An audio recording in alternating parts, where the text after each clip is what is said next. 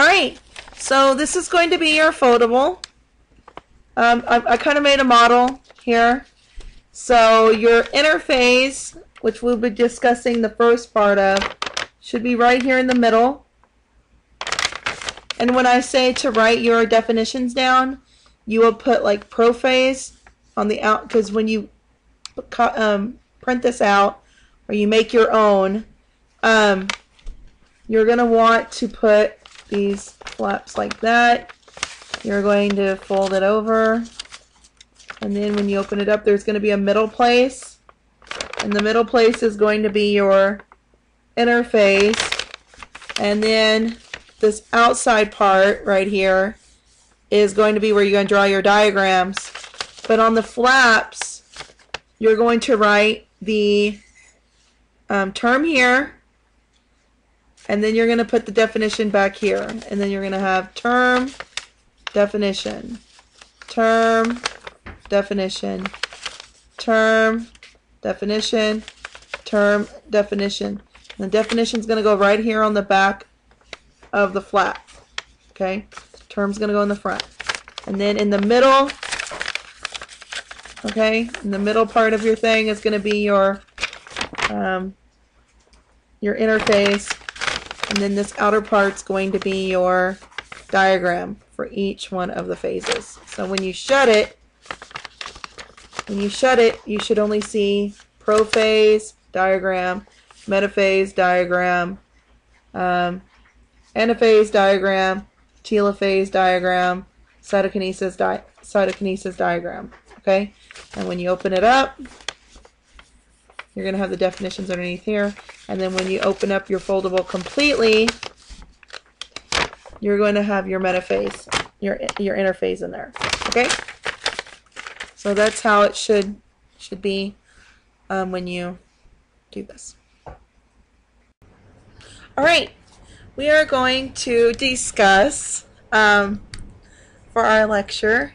it's kind of bizarre, but um, we're going to be discussing cell division.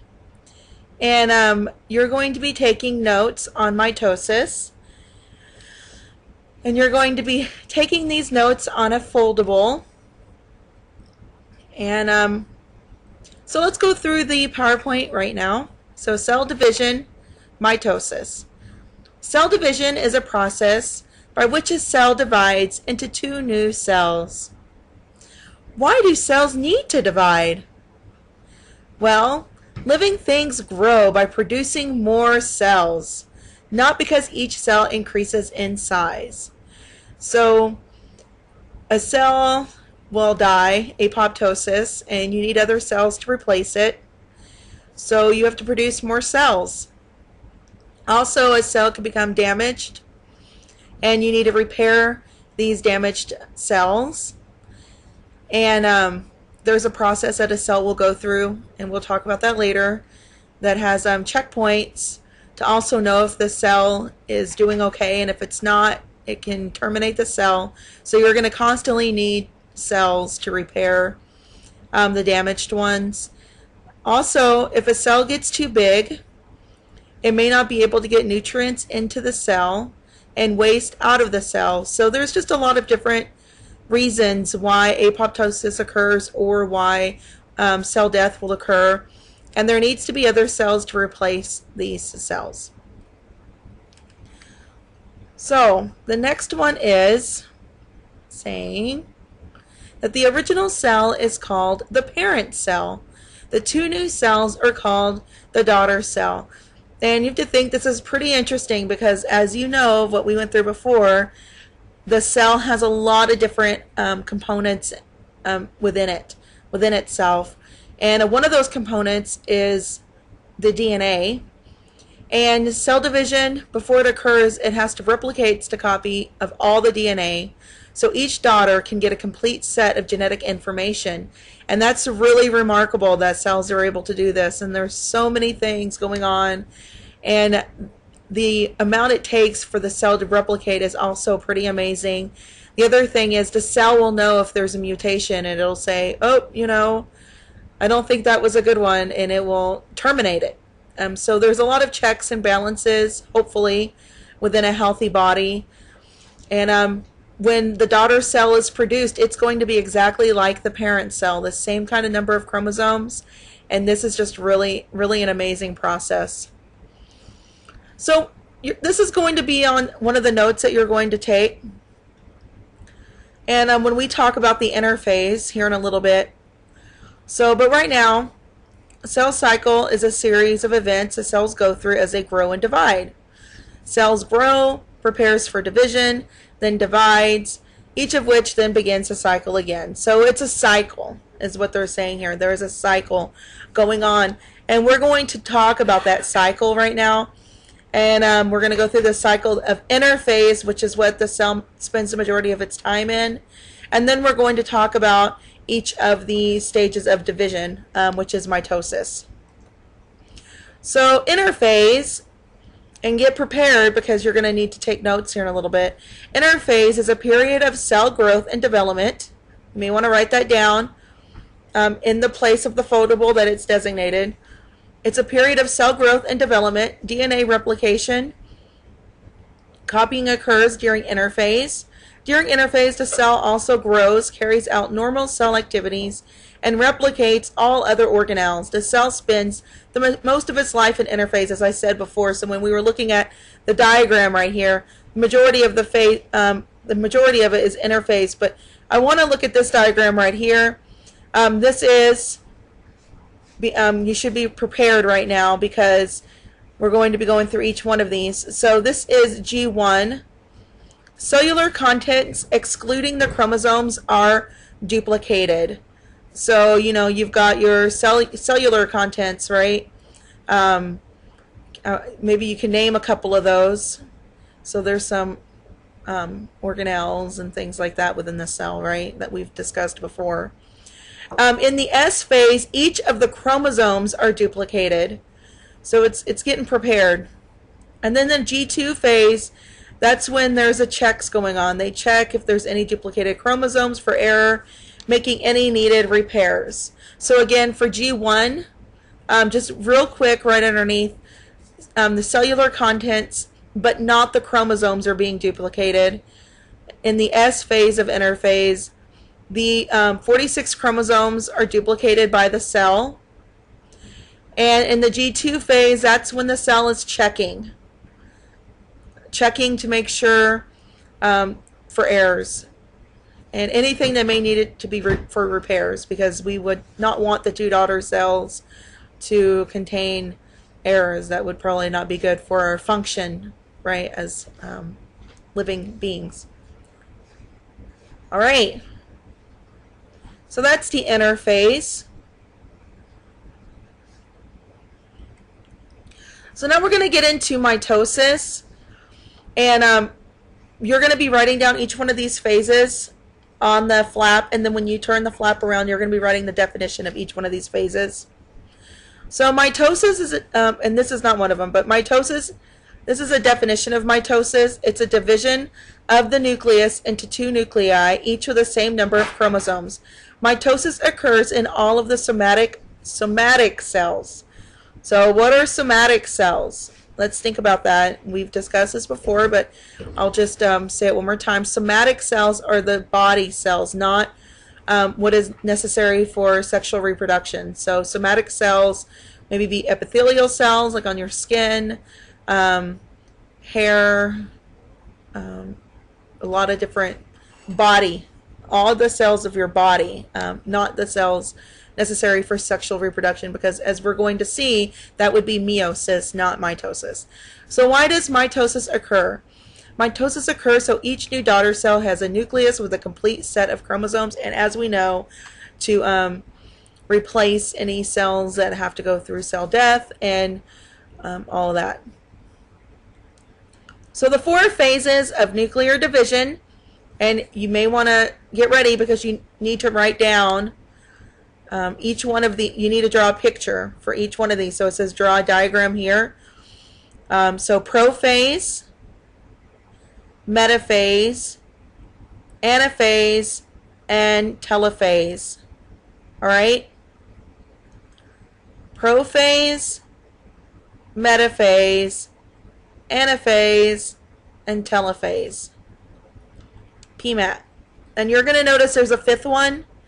So for right now, just focus on those four, prophase, metaphase, anaphase, and telophase. And when we get into the fifth one, you can draw your diagram for that. So on the side, says draw your diagrams. You should be drawing your diagrams for prophase, metaphase, anaphase, telophase, PMAT.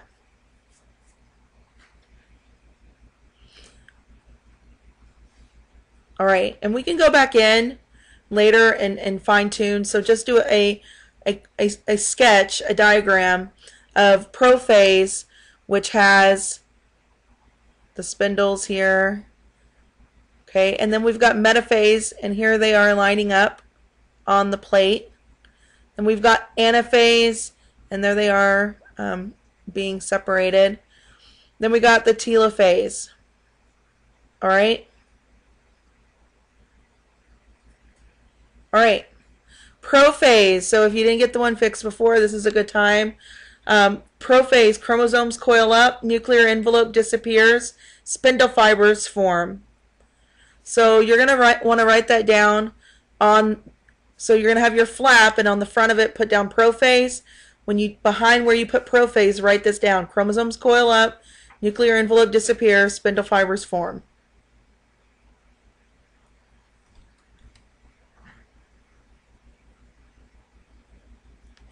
All right, so next we've got metaphase.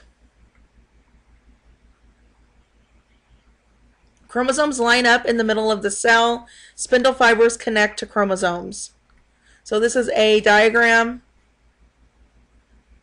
And you should have metaphase written the front part of the flap. And then on the back of it, it should say chromosomes line up in the middle of cell. Spindle fibers connect to chromosome.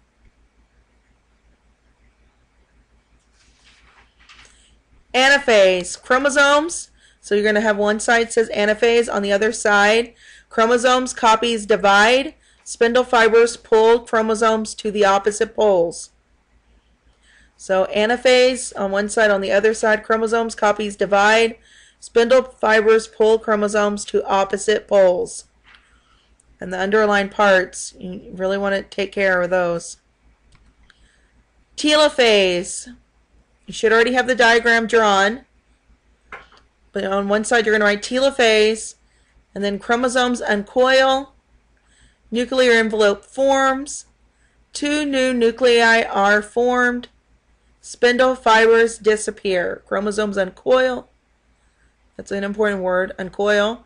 Nuclear envelopes form, two new nuclei are formed, spindle fibers disappear.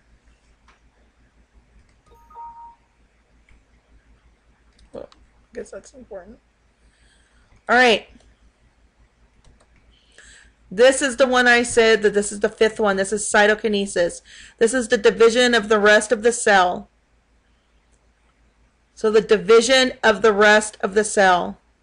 Cytoplasm and organelles after the nucleus divides. Okay. Um, so I want you to draw this diagram right here because we're going to be talking about animal animal cells so in animal cells, the cytoplasm pinches in. After mitosis and cytokinesis, the cell returns to interphase, right? So the very the fifth one should have this, and it should look like cytokinesis. The cells are pinching off. The cytoplasm is pinching in, but they're um, going to separate into two new daughter cells. So look at that. Isn't that an interesting picture, right? Um, right here. And then two new daughter cells. I think this is right here is a very interesting picture. While you're finishing up your um, cytokinesis. And there we are, summary. You've got a cycle here, as you can say. You got interphase, um, mitosis, cytokinesis. Interphase, mitosis, cytokinesis, right? When cells become old or damaged, they die and they are replaced with new cells. And here's another, um, some help for your diagram.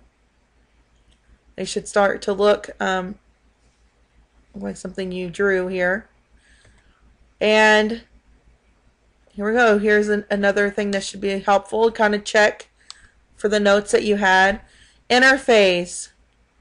Um, that should be on your diagram. DNA replication. Remember the part that is, um, it replicates the organelles, which was G1. And then you have your S, which is for your, that replicates your chromosome.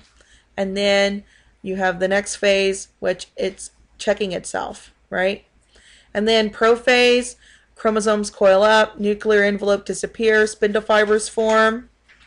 Metaphase, chromosomes line up in the middle. Okay, anaphase, the chromosome copies divide and move apart. That's what you should have on the on the back. T um, telophase, chromosomes uncoil back into chromatin. Then cytokinesis, right? They pinch in, and then you get two daughter cells. And you should have your notes taken. And if you need any, um, if you need to go back to a slide, let me know. Or I guess in this case, you can review it. And that's it. Uh-huh. let me know.